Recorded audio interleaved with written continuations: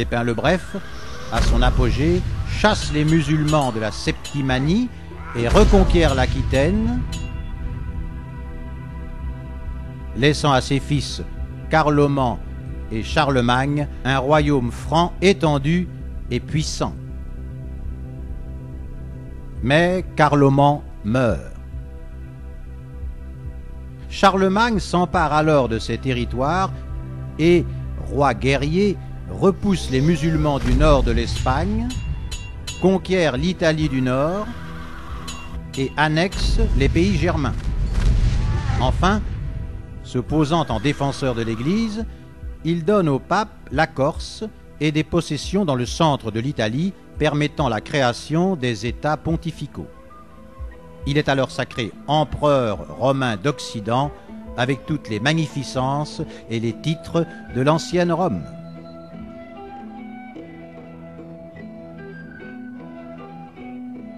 Charlemagne établit sa capitale à Aix-la-Chapelle et fut le souverain le plus puissant de l'Europe médiévale, mais son énorme empire, morcelé en une multitude de principautés avec coutumes et langues différentes, était difficile à unifier.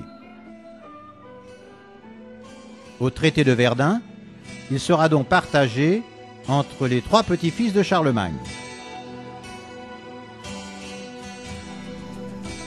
Charles le Chauve reçoit la Francie occidentale, qui est l'ancienne France.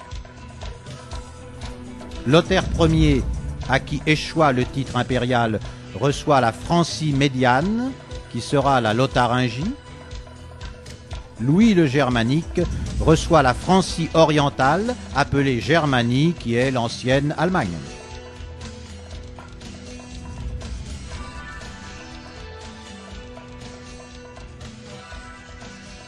Mais un grand danger arrive de la Scandinavie. Les vikings normands, après avoir dévasté les îles britanniques, débarquent par la Seine, ravageant tout jusqu'à Paris.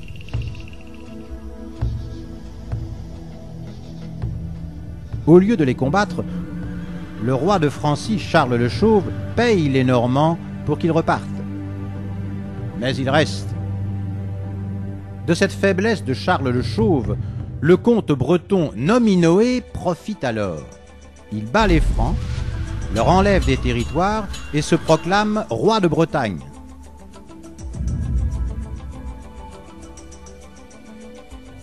À la mort des trois frères souverains, le fils de Louis le Germanique, Charles le Gros, hérite de la Germanie et de la Francie, tandis que les trois fils de Lothaire héritent de la Lotharingie, la divisant en Lorraine, Bourgogne et Italie.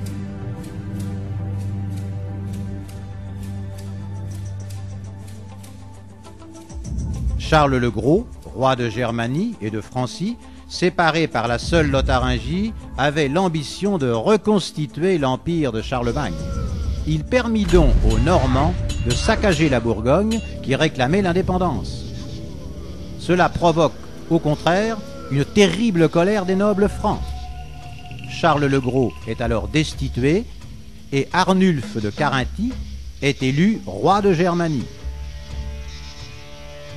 Eudes Ier, marquis de Neustrie, est élu roi de Francie en attendant que Charles le Simple devienne majeur et Rodolphe Ier, libéré des Normands, se proclame roi de Bourgogne.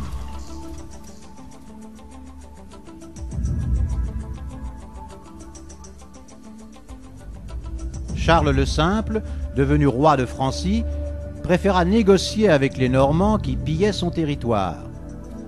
Sous la promesse qu'ils cessent leur raid, il leur donna même un duché. Mais les Normands, bien qu'ils se soient fait baptiser et qu'ils jurèrent obéissance en tant que vassaux de Francie, saccagèrent l'Anjou. Le comte Robert d'Anjou se rebella alors, accusa Charles le Simple de faiblesse et le battit, se proclamant roi de Francie à sa place. Mais Charles le Simple contre-attaqua et reprit le royaume. Son fils, Louis IV d'Outre-mer, eut des ambitions de conquête. Il tenta d'annexer la Lorraine, mais fut battu par les Germains et perdit Reims. Il tenta alors de conquérir la Normandie, mais fut capturé par les Normands et, une fois libéré, il dut même se protéger des Bourguignons.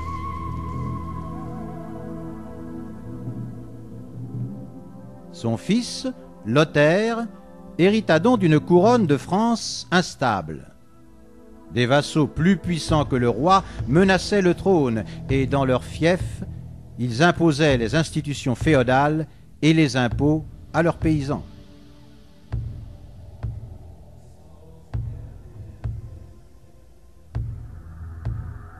Dans les pays slaves, entre-temps, les États de Pologne et de Tchéquie, à peine nés, étaient ravagés par un peuple provenant d'Oural, les Hongrois, qui arrivèrent même à piller les terres des Germains. Mais Othon Ier, le très puissant roi de Germanie, avait des ambitions impériales. Il battit les Hongrois et stoppa leurs incursions, fondant le marquisat d'Autriche. Puis il envahit la Bourgogne et l'Italie, rentrant triomphant dans Rome. Le pape, toujours en quête de protecteur, le couronna alors empereur du Saint-Empire romain germanique. C'est le premier Reich.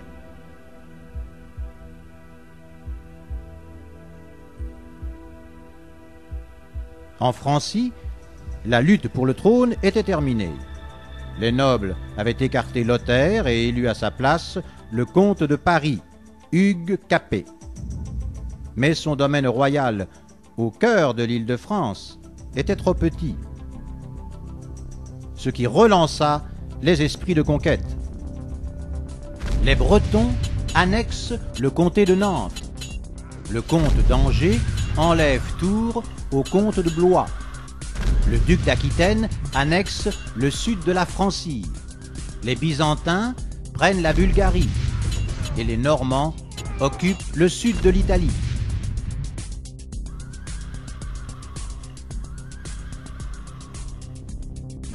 En Francie, dévasté par les batailles, le peuple n'en peut plus.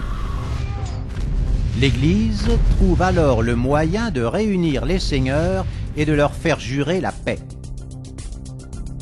C'est la paix de Dieu. Mais Guillaume le Conquérant, duc de Normandie et vassal de Francie, malgré la base morale de la société médiévale à peine fondée, s'empare de l'île britannique et se proclame roi d'Angleterre. La violence reprend. Guillaume le Conquérant est repoussé d'Irlande. Les comtes d'Anjou annexent les pays de la Loire. Les comtes de Toulouse et d'Aragon se partagent la Provence et l'évêché d'Avignon déclare son indépendance.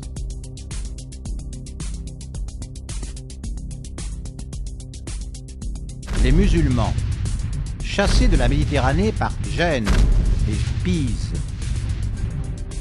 sont battus aussi par les Espagnols et les Portugais, tandis que les Roumains sont repoussés par les Byzantins.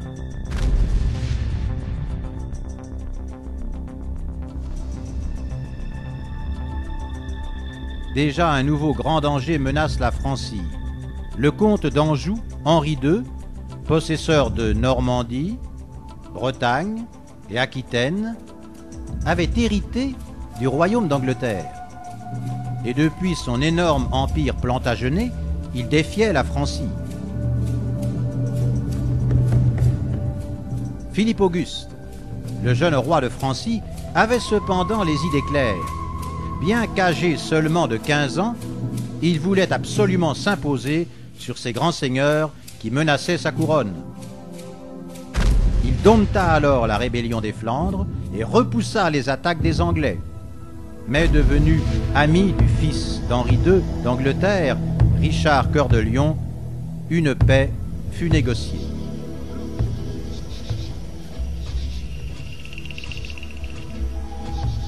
À cette époque, le pape Grégoire VIII, préoccupé par le sort de Jérusalem aux mains des musulmans, avait appelé les nobles chrétiens aux croisades.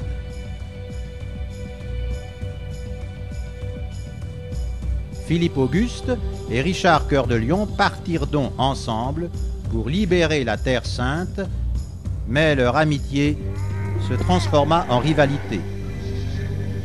À la mort de Richard Cœur de Lion, son frère Jean Santerre s'allie aux Germaniques et attaque la Francie. Philippe Auguste, roi magnifique, contre-attaque.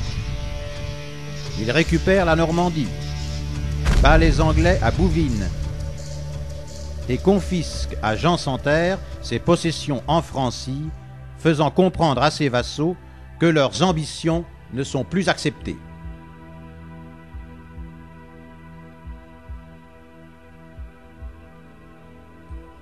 Sous Philippe Auguste, la Francie, devenue la France, est la nation la plus riche, la plus peuplée, la plus puissante d'Europe. Le fils de Philippe Auguste, Louis VIII le Lion, y joint le Languedoc, des hérétiques cathares, profitant de la croisade contre les albigeois. Et son fils, Louis IX, connu comme Saint Louis pour sa sagesse et ses valeurs morales, continue les croisades et développe la justice.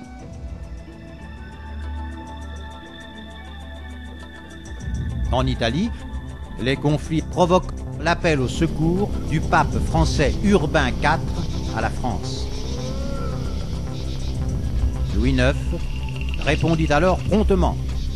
Il envoya une puissante armée, commandée par son frère, Charles d'Anjou. Mais ces cruautés provoquèrent la révolte des vêpres siciliennes, le massacre de ces hommes et son expulsion d'Italie par les Espagnols d'Aragon.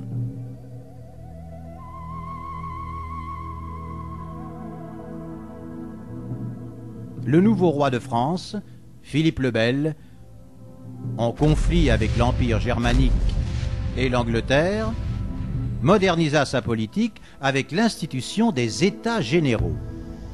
Il réunissait la noblesse, le clergé et la bourgeoisie qu'il consultait.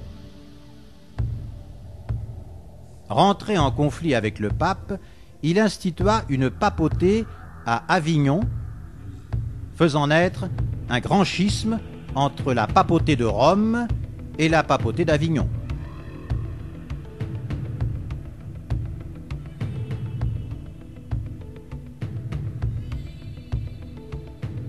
Philippe le Bel, roi innovateur, ne laissa pas d'héritier. Le trône de France passa alors à Philippe VI de la famille cadette des Valois. Cela provoqua une terrible colère d'Édouard III, le roi d'Angleterre, qui prétendait à la couronne de France en tant que petit-fils de Philippe le Bel. C'est le prélude de la guerre de Cent Ans l'armée anglaise attaque la France et, n'obéissant pas aux règles chevaleresques, inflige à Philippe VI de cuisantes défaites. Et tandis que l'Autriche héritait du Saint-Empire romain germanique et que la Suisse proclamait son indépendance,